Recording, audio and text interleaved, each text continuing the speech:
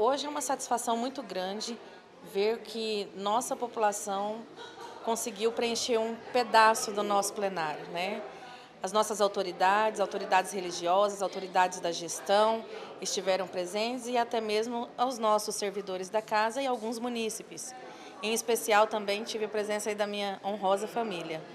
Luiz, é muito importante todo esse vínculo entre gestão e o legislativo porque através dessa união nossa é que nós vamos buscar levar todo anseio e necessidade que a população autogarcense tem e nós somos nesse momento a ponte para que a gente possa levar o problema, né, para buscar a solução junto com a gestão.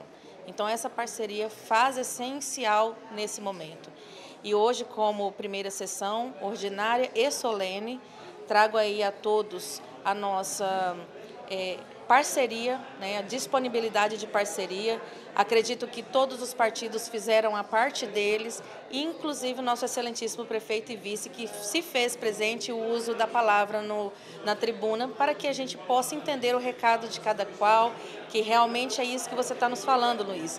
É buscar as soluções, os anseios, ser realizados os anseios da população com esse único vínculo, né, objetivo que é o melhor para todos.